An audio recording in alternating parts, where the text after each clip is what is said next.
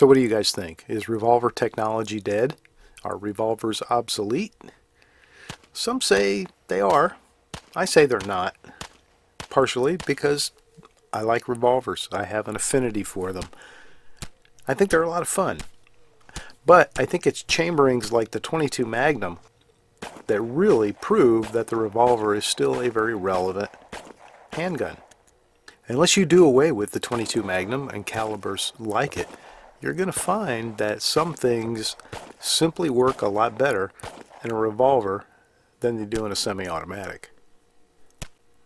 There are still some other advantages to revolvers too. One of the main ones is you have restrike capabilities on a round if you have a dud or one that doesn't go off, which is pretty common with rimfire ammunition. In fact, I had one happen during the course of testing this gun. Just once, but all I had to do was let it come around again, restrike it, and fire it. And revolvers are just plain fun. They're fun to shoot, they're fun to enjoy, they can almost be works of art. And they're pretty simplistic from a user's perspective, and they're a great way to introduce new shooters. So yeah, I think there's definitely a place in the world still for the revolver. And that brings me to this one that you see here. This is made by Alfa Proj or Alpha Project in the Czech Republic, and it's imported to the United States. They've previously been imported to the U.S. by other companies, and they're now partnered with Rock Island Armory. This should be a win-win because the customers will probably be better served, and the guns are more likely to become popular and better known. Nearly a year ago, I took a look at the first RIA AL9 revolver from Alfa Proj, and that was chambered in 9mm. Now, let's look at a brand new offering in 22 Magnum. It expands the capacity to 8 rounds, as you can do with a 22 caliber. And it should be available in stainless steel, like you see it here, or a blued finish. In just about every other way, it's the same gun with a different chambering. So let's get to it. Here's my initial look and review of the gun.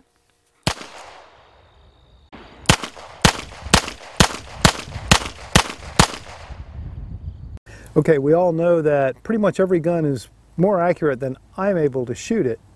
So with that spirit in mind, I'm going to go ahead and do some target shots here on paper.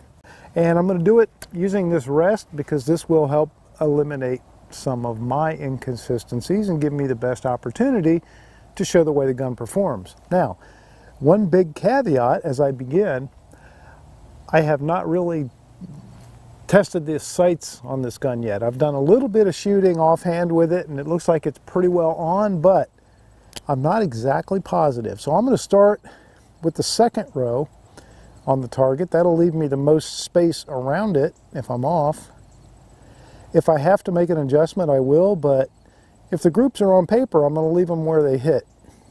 All right, I'm going to start out with the Armscor ammo. Armscor provided the ammo to help me do this test and evaluation, and I appreciate that.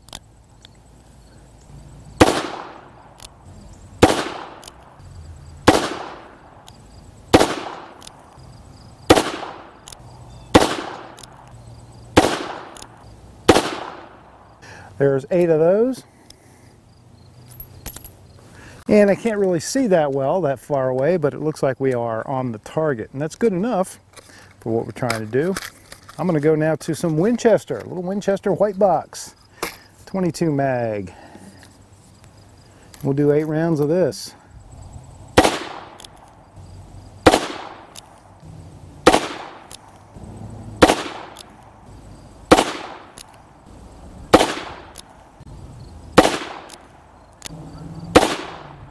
CCI Maxi Mag.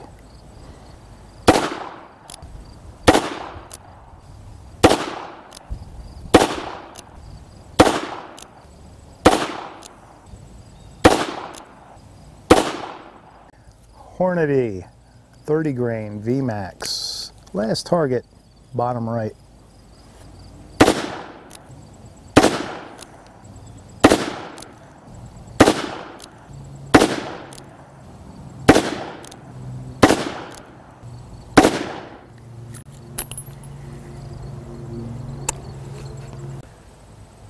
Okay, there's all four of the groups. They look pretty consistent.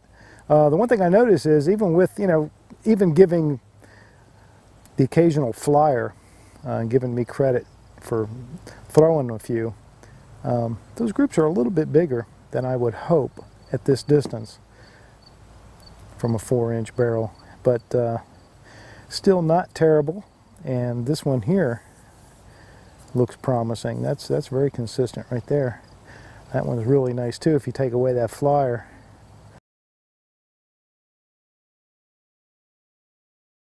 This revolver is almost identical in every way to the 9mm revolver that I told you about last year. But let's take a little break, listen to some music, and look at the specs.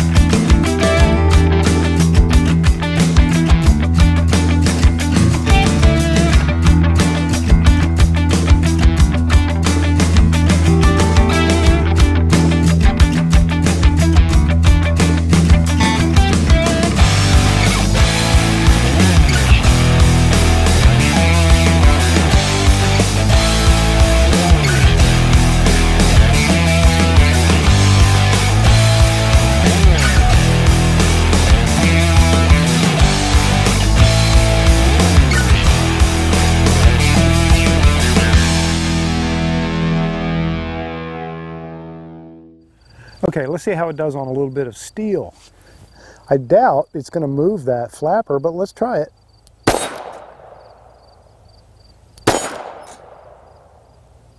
At least we get a little bit of reaction.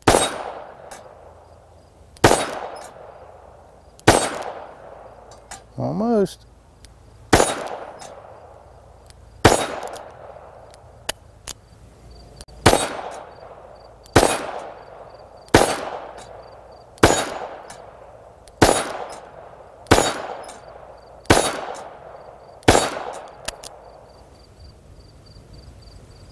I'm going to take a second to answer a question I've gotten a bazillion times on other revolver videos.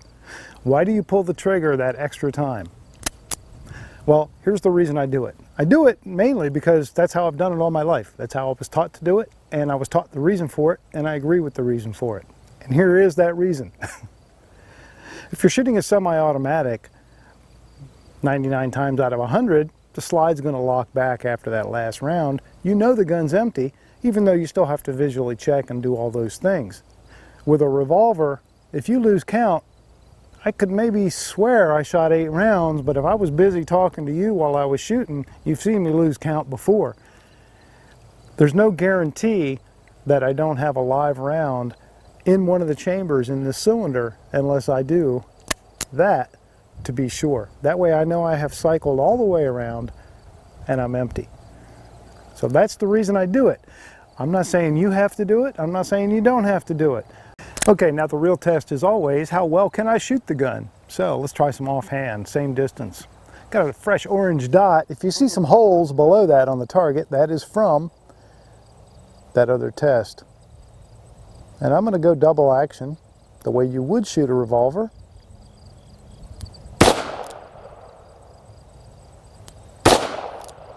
Got a heavy double action trigger. But it does feel good. It's smooth. I don't feel stacking. And I don't really feel any grit. It's just heavy.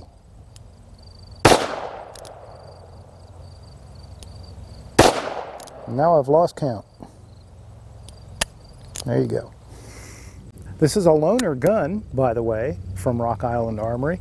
It is slated to be released around the end of October.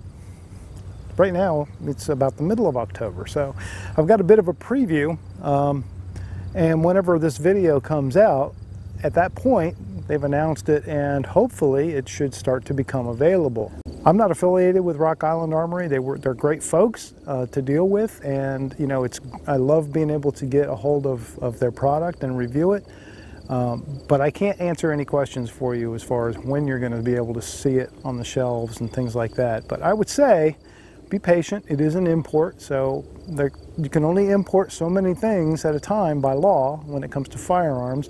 Also, the times the times we're living in, uh, you know. So to, to just try and set your expectations. Be patient. The orange insert on the front sight is nice, unless you're shooting at an orange dot. Then you kind of lose it a little bit.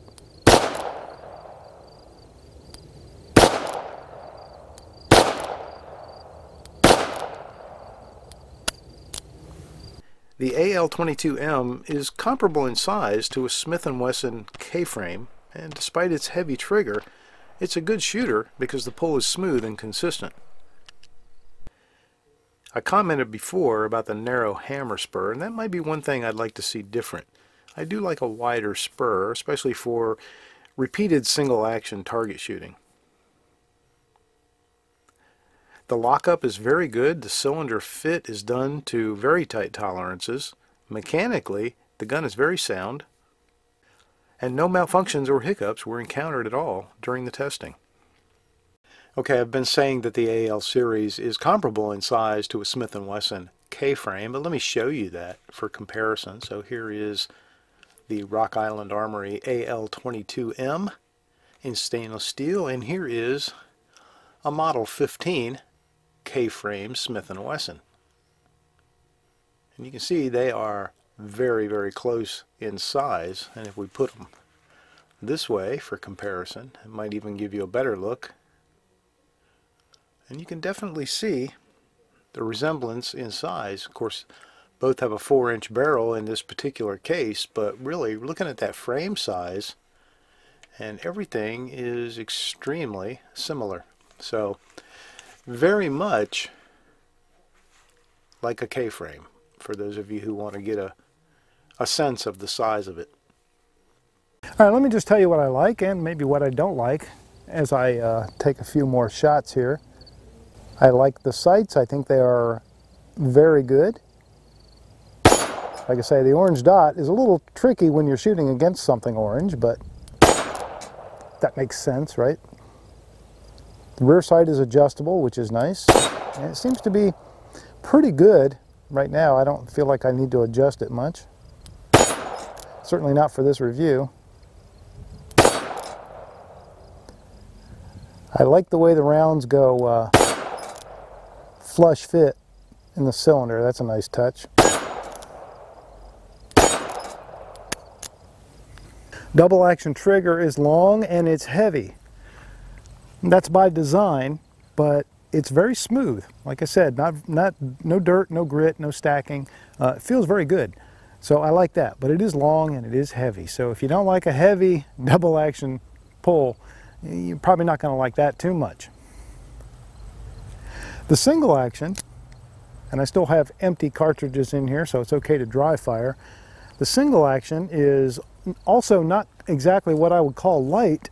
It's in the five to six pound range, but very crisp.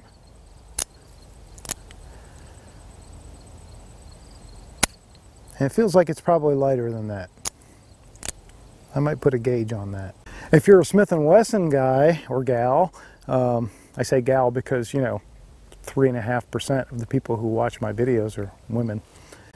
But if you if you like Smith & Wessons, you're going to like the way the cylinder release latch has been designed because it is very Smith & Wesson-esque. Has the same rubber grip that the other revolver has, the uh, the AL9. So I like that on that gun, and I like it on this gun too. It makes it just makes a nice grip. Um, it's kind of a no frills, no fuss kind of thing, but very effective, and it's got a very nice texture. Basically, it's it's it's like lots of little. I don't know. It's just it's just like lots of little raised dots, you know, uh, all over the surface of the rubber grip. But it does a very nice job of grabbing hold of your skin uh, without feeling at all uncomfortable. It does have finger grooves, so if you don't like finger grooves, um, then that again, that's something else you probably wouldn't care for. Fit and finish is good on this pistol, but it's not necessarily American you know, best quality fit and finish. You can see tool marks here and there, but very sparingly and usually in the out of the way places like you've got to open the cylinder or pull the hammer back or things like that before you're going to see those kinds of things.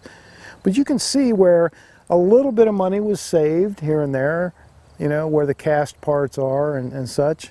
But overall, the polish is very nice on the stainless steel. The ribbing at the top of the barrel is good quality. It's got a very nice crown on the barrel. I think that was a very nice touch.